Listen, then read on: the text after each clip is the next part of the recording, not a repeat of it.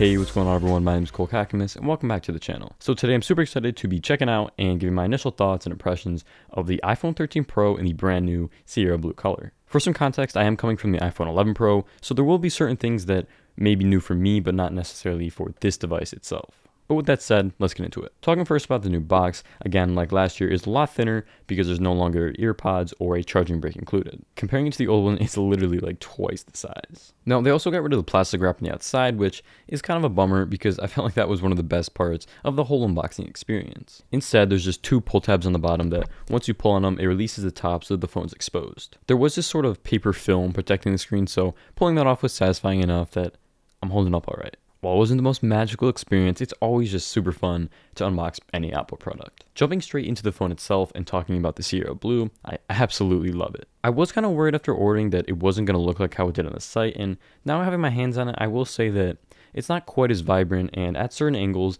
it can have more of a grayish appearance, but I actually kind of like that about it. The sides are stainless steel and there's not actually any blue tint to it, which I think is for the best. Although because of that, this thing is an absolute fingerprint magnet. Like the second I pulled this thing out of the box, I already started noticing all the fingerprints on the side. No matter how many times I wipe it off, as soon as I pick it back up, it's just covered. And this really sucks because over the past few months, I've honestly started to become less of a case person and really just appreciate the phone for how it's designed. Hot take though, I think this is the best color in the entire lineup. I definitely don't regret going with this one at all. It just looks so good, and everyone will know I have the 13. That was kind of a joke. I've seen like so many different opinions on this. Some people love it, some people hate it, say it looks nothing like the site. It's too gray, so I don't know. Just judge for yourself. Let me know down in the comments what you think. So, design. At first glance, not a ton has changed. It's very similar to the 12 series, but I don't think that's necessarily a bad thing. You have the squared off stainless steel sides resembling the iPhone 4S, 5 era, and I love it. But this thing is really bulky. I feel like I'm looking around a tank. It is 204 grams. Comparing it to the 11 Pro, it's such a big difference because this one was really light and curved around the sides, and then this is just like a brick. But all that's not bad because honestly, I think this looks and feels a lot more premium than any other iPhone I've ever had, and it's a good thing considering how much this thing costs. Turning it around, you will see that the new notch is 20% smaller, basically because they put the speaker grill up on top and then just shoved all the Face ID sensors, camera modules all inward a little bit. While it is now not as wide as it used to be, it did get a little bit taller. This is also another thing that people have been mixed about, but me personally, I like this design a lot better. Right now, there are actually some issues with the taller notch, and that is in full screen YouTube, it will cut off part of the video, as well as on the Pro Maxes in Instagram, it'll cut off the top with the status bar. Obviously, this will all get fixed eventually, but it's just something to note right now. And another thing I noticed was with the new wallpapers, it seems to me like they're not trying as hard to hide the notch. Like what they used to do before was the background was like all black, so it would kind of hide it. And now it seems that they're doing it more colorful, almost to show that the notch is smaller. I don't know. Maybe that's just me. Maybe I'm being dumb, but I don't know. Let me know. So with that all said, the new notch looks good. It's smaller, but they don't really seem to be taking advantage of it. I mean, they leave all this new empty space up there just as empty space. I mean, they could put the battery indicator, right, an actual percentage up there. They didn't. So right now, I mean, I guess aesthetics. I don't know. Talking more about the display itself, we got some really big updates. Finally, we have 120 Hz ProMotion on the iPhone. This is hands down my favorite feature on the device this year. Apple's had it on the iPad Pros for a couple years now. I've been using it on the M1 iPad for a few months, and it's really awesome to see this feature come over. Now, it's actually different from traditional 120 Hz because it is a variable refresh rate, meaning that it will adjust based on the content on your screen from as low as 10 Hz all the way up to 120. This was showed off in the event. I remember in the Photos app, they had it setting on a static image, so obviously you don't need 120 hertz on that. But as you scroll, it goes up, so 40, 50, 120, just to feel more natural. And then as you go back to another static image, it goes down to 10. Same thing in Twitter. Like as you scroll on Twitter, it goes up to 120, and then once you're just reading something, it goes back down to 10, etc., etc. This is really great because it's going to conserve power so that you're not always pushing out 120 FPS when you don't need to be. So far, my experience with it has been amazing. It feels so buttery and silky smooth.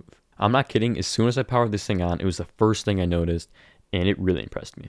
Obviously, this isn't new tech. Like I said, I'm using it on the iPad, but it's really awesome to have. After using this for around an hour, I went back to my 11 Pro, and I'm not kidding, like my jaw dropped at the difference. It felt so choppy, so laggy, like it was a night and day difference. Now, I'm a tech head though, so it might just be me. The average consumer might not be as impressed by it, might not notice it that much. So, if you're kind of on the fence and this is something you're interested in, I would say because it's so hard to explain over a camera, just go to a store, try it out on your own and see, you know, do you like it? Does it really feel that much smoother, that much faster? Going back to battery, the phone is said to have a pretty decent boost, with the battery itself increasing in size to 3095 milliamp hours, and Apple saying you can expect around an hour and a half of extra use. Obviously, this is my first impressions. I've only had the phone for a day now, so I can't really comment on this, but from other reviewers I've watched who have had it longer than myself, it looks pretty promising. In my full review, which I expect to have out in around two weeks or so, I'll actually break down my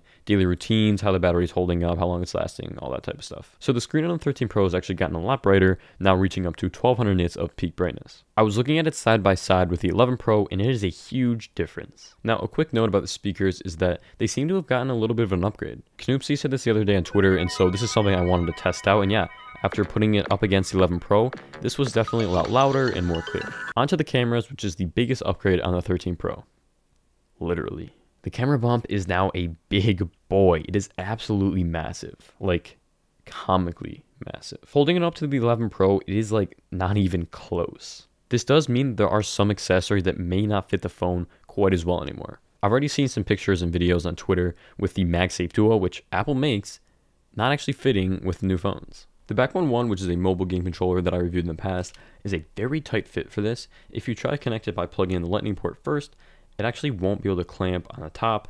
But then if you try to go top first and like wiggle it in there, it ends up being butt up against the lenses. And so I'm really nervous that it's going to scratch it all up and now I can't use it anymore. We have three lenses, the wide, ultra wide, and now a 3x telephoto, which all have wider apertures so that they're going to be significantly better for night mode shots. The sensors themselves have gotten a lot better, so pictures are now going to be more clear. Sensor shift image stabilization is now available across the entire iPhone lineup, not even just the Pro models or the Pro Max as it was beforehand, which is really great to see because now with the Pro models, it's not really any differences between the two other than size and, you know, battery life. Macro photography is also another really cool camera feature, but at the moment it's kind of buggy. It turns on automatically when you're around 14 centimeters from a subject, but the problem is that when it turns on, it kind of will go in and out and it's really hard to get it set, but when you actually do line it up right, you have the lighting all set, it can produce some pretty good looking photos. I use it on the PS5 and the DualSense controller because both have the little engraved